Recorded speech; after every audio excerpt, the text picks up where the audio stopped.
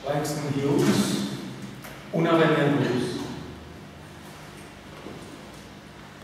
Znie synkopický nápev ospalý a sytý hlas sa znáša pomaly a čoraz potichšie.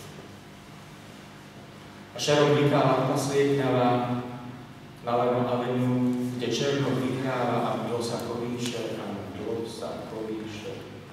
Keď hrá, to unavené.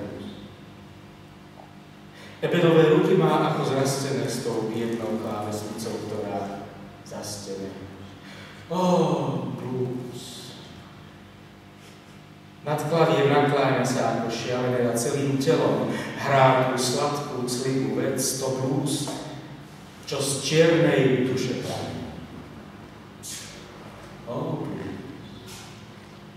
Tie stoly klavír a tá smutná muzika, hlboký hrá, hráčov vás, čo dôvodom pre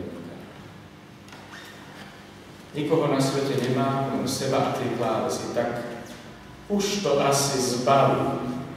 Na klinec trápia závisí. A potom zadupe na parketu pár raz, zahrá pár akordov a k tomu pridá hlas. Mám unavené blues a mám už toho dosť. Mám unavené blues a fakt mám toho dosť. Už ma nič neteší.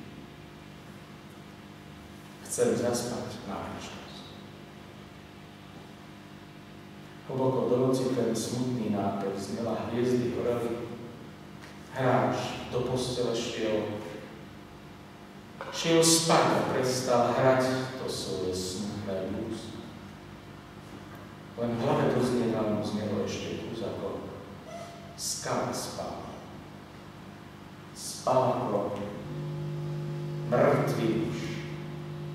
blues.